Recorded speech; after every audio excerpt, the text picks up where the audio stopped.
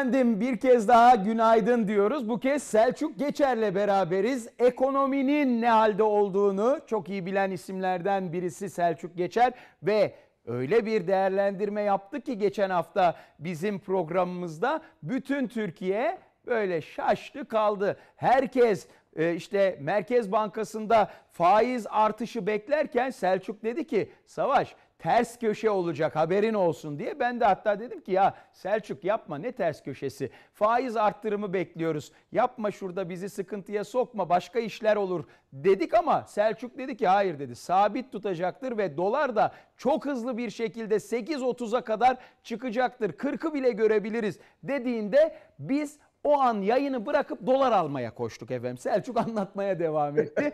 ee, şimdi bakalım bugün ne diyecek Selçuk? Yani Selçuk bugün ne var? Yani iyi şeyler söyle de e, şimdi burada Jimmy Yavuz var hemen karşımda. Can var. Onlar da merakla bekliyor. Cuma günü acaba piyasalarla ilgili Selçuk ne der? Durumumuz nedir? Bir anlat da dinleyelim hadi. Öğrenelim.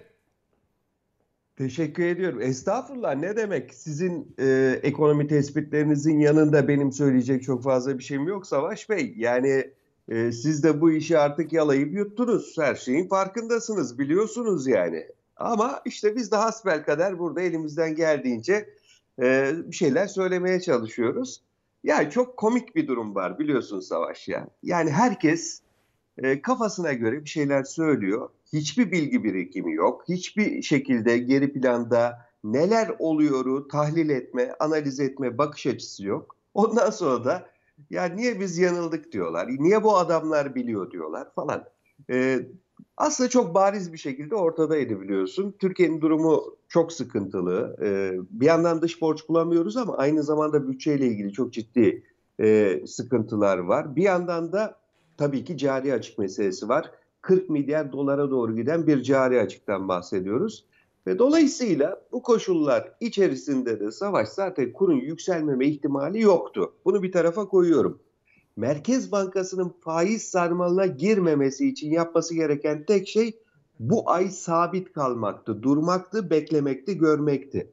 Önümüzdeki günlerde faizi arttırabilir mi? Ya da önümüzdeki aylarda bana kalırsa faizi arttırma şansı yok şu an itibariyle. Zaten hadi bombayı söyleyeyim o zaman sana. Merkez Bankası da ekonomi yönetimi de yakın zaman içerisinde çok ciddi bir devalüasyona hazırlanıyor. Özellikle altın çizerek söylüyorum Savaş. Çok ciddi bir devalüasyona hazırlanıyor. Bir dakika şimdi burada yani, bir duralım. Bir dakika şimdi devalüasyon deyince bizim tüylerimiz diken diken olur. Yani yaklaşık 18 yıldır duymadığımız şeyleri söylüyorsun. Ee, tek parti iktidarında istikrarın bu kadar iyi olduğu dönemde üstelik 2001 krizinde devalüasyondu. 90'lı yıllarda çok alışık olduğumuz e, krizlerin en önemli anlatımıdır devalüasyon. Şimdi sen başka bir şey söylüyorsun yani devalüasyon deyince orada bir durmak lazım. Yani dikkatli konuşalım Selçuk Bey. Çok özür diliyorum Savaş Bey ama ben sözümün arkasına durmaya devam edeyim yine. Ee, şöyle devalüasyon her türlü gelecek Türkiye'de. Bunun artık uçarı kaçarı kalmadı. Tabii şu anda biz dinleyenler ya kardeşim biz dalgalı kur sistemindeyiz. Dalgalı kurda devalüasyon olmaz diyebilirler. Haklılar da. Dalgalı kurda devalüasyon olmaz ama devalüasyonist etki olur. Yani devalüasyona benzeyen çıkışlar olur. Bu arada 18 yıldır 20 yıldır falan değil biz 2 sene önce 2018 Ağustos ayında devalüasyonu yaşadık zaten. 3 liradan bir anda dolar 7 liranın üzerine çıktı. Hatta iğne etkisiyle 8 lirayı vurdu. Geçen hafta da konuşmuştuk biliyorsun seninle. E, aynı benzer bir etkinin bugün yaşanma ihtimali her geçen gün biraz daha artıyor. İşin sonuna geldik. Deniz bitti, kara göründü. Bu kadar büyük cari açık varken, dış borçlar çevrilemezken ve Türkiye Amerika'ya olan 3 milyar dolarlık ilaç borcunu bile ödeyemezken bak 3 milyar dolarlık ilaç borcumuzu ödeyemiyoruz Amerika'ya. Hatta tam 3 değil 2700 falan öyle söyleyeyim. O parayı bile bulamazken ister istemez piyasadaki dövizi çekmek için bir atak yapmak zorunda. Bak senaryoyu anlatıyorum. İsteyen kabul eder, isteyen kabul etmez. İsteyen beğenir, isteyen beğenmez. Senaryo şu. Türkiye devalüasyonist bir etkiyle kuru yukarıya fırlatmadığı sürece piyasadaki parayı çekme şansına sahip değil. Şimdi Kimileri- Selçuk ben hemen araya gireceğim. bir e, sade vatandaş olarak parayla pulla işi olmayan biri olarak olsa zaten burada olmazdık diyelim. Şimdi şimdi parayla işimiz yok. Ben sade bir dille sen diyorsun ki şimdi Ayşe teyzenin Hüseyin abinin yastığının altında dolar var. Adamlar dolar yükseldikçe evde tutmaya devam edecekler. Doğal olarak henüz dolarla ilgili yukarı çıkış beklentisi var insanlarımızda ve bu yukarı çıkış beklentisiyle ilgili 10 lira 12 lira olacak ya işte o olacak yayı yakaladığında da diyecek ki Ayşe abla tamam bu kadar dolar yükseldi ben faizler de artacak ben gideyim dolarımı bozdurayım Türk lirası alayım Türk lirasına faize yatırayım param değer kazansın böylelikle daha fazla artmayacaktır düşüncesine mi sahip olacaklar? Hay ağzına sağlık senin. Ağzımdan Hayır. öpme de şimdi. Ya bu kadar güzel ifade edilebilirdi çok net bir şekilde. Ama bu 10-12 lira da değil artık. Kurtarır rakam 10-12'de olmayacaktır E Savaş. seni ne kurtarır onu söyle de orada anlaşalım bari ya. Yani beni beni her şey kurtarıyor da bu ülkeyi ne kurtarıra gelirsek daha doğrusu ülkeyi kurtarmasından çok yani vatandaşın ya da yabancının bu işe ikna olacağı düzey minimum 14 lira seviyesi 14 ile 16 seviyesi arasında yükselecektir. Zaten maliyetler de bu seviyelerden yapılmaya başlandı savaş. İşte o 14 seviyesine çıktığında büyük ihtimalle Merkez Bankası burası da çok önemli. Ay çok önemli. Özür diliyorum Savaş. Ee, burası da çok önemli. Burada da bir e, durma, fren amacıyla tırnak içerisinde aslında niyet o değil de 16-17'ye geldiğinde aynı 2018 Ağustos ayında olduğu gibi büyük bir faiz arttırımı gelecek. Yani şöyle söyleyeyim 100 bas puan, 200 bas puan, 300 bas puan falan değil. Hani bu piyasadaki uzmanların sürekli olarak dile getirdiği rakamlar değil. Çünkü onlar da zaten reel faizin pozitif olduğu bir ortam değil. Hadi Ayşe teyzenin anlayacağı gibi söyleyelim. Türkiye'de enflasyon 10 örnek. Örnek 10 değil tabii de.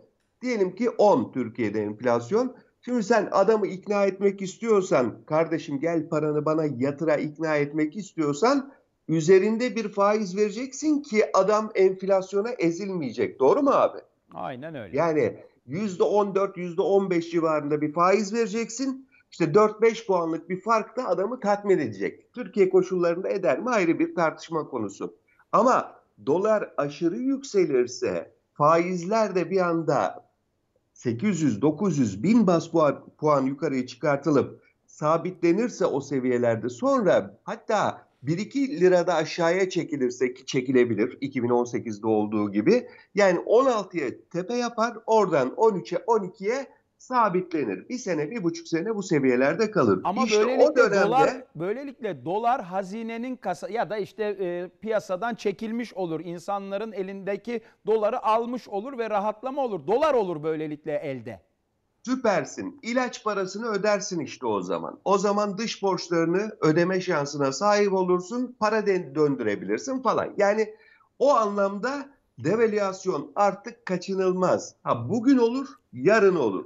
Ama olmak zorunda. Eğer ki böyle kademeli olarak yükselmeye devam ederse ki yükselecek artık düşüşü hiçbir şekilde konuşmuyoruz. Yani dolar 5 lira olacak, dolar 4 lira olacak. E, oluyor işte iki senedir dolar 4 lira oluyor görüyoruz yani. Öyle bir dünyanın olmadığını net bir şekilde herkes fark ediyor. Dolar yükselmeye devam edecek. Euro, sterlin yükselmeye devam edecek. Dünyada korona var ya. Parite bak parite geri geliyor dolar yukarıya çıkıyor tüm dünyada. Tüm dünyada dolar güvenli liman olarak görülürken Türkiye'de doların yükselmeme ihtimali yok ki. Bu arada altın da çok sert bir şekilde yükselecek. Evet, Bak evet. altını da unutmayalım. Vallahi ben Altın- Selçuk nikaha geldim. Ee, halamın kızının düğünü vardı. Ee, kendisine mutluluklar diliyorum. Vallahi Ben de. nikah, nikaha geldim ama yani böyle ayağım geri geri gitti. Altını görünce şimdi çeyrek altın taksan olmuyor. Yarım desen hiç olmuyor. Tam desen sana yazık. Şimdi durum böyle olunca şey, ne yapacağımızı bilemedik. Valla bütün aile bir araya geldik. İşte ufak tefek bir şey yapabildik. Ee, gerçekten herkes için çok zor bir durum. Yani şimdi düğün yapan için de çok zor. E, takıyı alıp da o güzel adetimizi yerine getirecekler için de çok zor. E, altın ne olacak peki yani? Bu altın da durmuyor. Çeyrek altın bir havalı havalı geziyor. Ya bak Savaş sana çok enteresan bir şey söyleyeyim mi? Şimdi altının şu anki seviyesi yani 500 liranın gram altından bahsediyoruz bu arada. 500 liranın üzerinde olmasının tek nedeni dolardaki bu yukarıya hızlı hareket. Oysa altının onsu şu anda dip seviyelerine gelmiş durumda. 1860'larda falan geziniyor altının onsu. Bu ne demek biliyor musun abi? Bir tarafta doların yüksek seviyesini düşün. Yani işte 8.20'ler, 8.30'lar hadi bıraktım 8.40'ı falan. 8.30'lar bu civarda durduğunu düşün. Ve yarın öbür gün özellikle 3 Kasım sonrasında ya da işte Avrupa Merkez Bankası Başkanı dün biliyorsun bir anda çıktı. Aralık ayı itibariyle teşvikler gelecek dedi ama aralığı bekleyemezler onu biliyoruz. Piyasaya aşırı para girdiğini düşün. Ve bir yandan da koronanın bütün dünya ekonomilerini kapattığını düşün. Düşünelim mi yoksa gerçekleri mi konuşalım dersen Fransa 30 Ekim itibariyle sokağa çıkma kısıtlamalarını başlatıyor. Almanya'da Merkel sokağa çıkma kısıtlamalarıyla ilgili müjdeyi verdi. Dolayısıyla bütün dünyada sokağa çıkma kısıtlamaları başlıyor. Bu da ekonomilerin daralması anlamına geliyor. Bir tarafta teşvikler, öbür tarafta riskler ve kısıtlamalar. Dolayısıyla bu paranın büyük bir kısmı altına yönelecek. Şimdi gelelim altına. Şimdi 1860 seviyesinden bak önümüzdeki hafta çok uzağa gitmeye gerek yok. Önümüzdeki hafta 1960-70 seviyelerini zorlamaya başladığında çok ütopik bir rakam söylemiyorum bu arada. Yani çok kısa vadede gelebileceği bir noktayı söylüyorum. Bir anda gram altın ne olur biliyor musun abi? 530 ile 550 lira arasına yerleşir. Gram altın. Çeyrek altını, cumhuriyet altını falan sen hesapla. Zaten dün hesaplamışsındır diye tahmin ediyorum. Hala hesaplıyorum hiç merak etme. Hala hesaplıyorum. 530-550'yi falan düşünmek istemiyorum. Gerçekten yani insanlar yatırım için bir şeyler yapmaya çalışıyor. Zaten yatırım için ne yapmak lazım? Bir yerde bir fazlası olacak ki insanlar onu bir yere yatırayım diye. E çok şükür kimse yatırım yapamıyor. Niye? E yok ki fazlası. Anca işte kıt kanaat ayın sonunu getiriyor, denkleştiriyor. E şimdi bu altın dolar işleri de hani çoğunlukla yatırım aracı olarak kullanılıyor falan da bizde herhalde Türk lirasına olan güven kalmadığı için herhalde herkes bir güvenli liman aramaya devam edecek öyle değil mi? Ya yatırım aracından öte şeye geçti savaş iş artık ve çok da haklı insanlar. Yani paramı koruyayım derdinde mem memleketteki insanlar. Ve haksız da değiller be abi. Yani bu insanlara 3 liradan dolar sattırıldı. Sonra kendileri 7,5 liradan dolar sattılar. Milliyetçi Hareket Partisi evet. bunu yaptı ve inkar da etmediler abi. Yani hani çıkıp deselerdik hayır kardeşim biz böyle bir şey yapmadık deselerdi eyvallah. Kabul ederdik yani sözlerine de inanırdık hiç sorun yok. İnkar da gelmedi. 7 liradan 7,5 liradan ellerindeki dövizi çıkarttılar. Şimdi bunu ben görüyorum sen görüyorsun vatandaş da görüyor abi. Ve vatandaş da diyor ki ya birileri bize yanlış bilgi veriyor. Birileri de çırpınıyor sağda solda hani bunu böyle değil diye işte beni işaret ediyor, seni işaret ediyor vesaire. Dolayısıyla bak sana çok enteresan bir şey daha söyleyeyim. 280 liraydı savaş. Altının gramı. 280 liraydı. Ben 500 lira dedim o günlerde. 500 liraya gidiyor altının gramı dedim. Beni bir terörist ilan etmedikleri kaldı. Açık ve net söylüyorum sana. Ya uçuk kaçık rakamlar söylüyorsun o oluyor bu oluyor. Ya kardeşim uçuk kaçıklıkla ne alakası var? Dünya pandemik krizine girmiş, ekonomiler daralıyor işte görüyorsun bir ekonomik krize gidiyoruz. Bu altın yükselecek kardeşim dedik. Bizi dinleyen insanlar emin ol sadece ve sadece tek bir niyetle altın alıp koydular kenara ya da kur alıp koydular kenara. Ya bak bugün Türk liramla bir araba alıyorum yarın da bir araba alacak güce sahip olayım. Ve hesapla abi o günkü araba fiyatlarıyla bugünkü araba fiyatlarının alımındaki dolar miktarı hiç değişmedi. Ama Türk lirasıyla artık o arabayı satın alamıyorsun. Aynen. Alamıyorsun abi. Kesinlikle. Ve bir not daha, bir not daha abi. altın fiyatları bu kısa vade için konuştuğum rakam orta vade dediğimiz 3-4 ay içerisinde onsun 2500 dolarları zorlamasıyla ve Türkiye'de devalüasyonist etkinin gerçekleşmesiyle birlikte 1000 liraları zorlayacak. Bunlar bizim iyi günlerimiz. Bir dakika, Bak 1000 gra- lira olacak gram Gra- altın. gram, gram altın 1000 lirayla e, karşımıza çıkacak diyorsun. Evet, evet aynen öyle olacak. Hiç de ütopik bir rakam falan değil. Hesabını herkes yapsın. Altının onsunun 2500 dolara gittiği ve Türkiye'de doların 14-15 liraları zorladığı ortamda gram altın ne oluyormuş bir baksınlar. Selçuk, Çok basit dört işlem matematik. Selçuk, insanın canını Efendim? sıkma kendine iyi bak. Kapatıyorum artık. Bu ne ya böyle 14-15 lira 500 bilmem ne falan. Ee, çok teşekkür ediyorum. Ee, Valla yani değerlendirmelerin çok kıymetli. Onun da altını çizelim. Çünkü Türkiye'de e, işte doların seyri, ekonominin durumu e, ne olacak? Bunu çok e, böyle herkesin anlayacağı dilde ve herkesin e, görmesi gereken o fotoğrafı çekerek ifade ediyorsun. Ağzına sağlık her şeyden önce. E, tabii bir de fikrine e, sağlık. E, biraz da şöyle iyi şeyler söylesen o zaman daha iyi arkadaş olacağız da. Arada pek iyi şeyler söylemiyorsun. çok teşekkür Seni- ediyorum. Sağ olasın. Seni çok seviyorum. Kendine çok iyi bak. Bütün dostlara da buradan sevgi ve selamlarımı iletiyorum. Tüm izleyenlere sevgi ve selamlar. çok teşekkür ediyorum. Sağlık diliyorum her şeyden önce.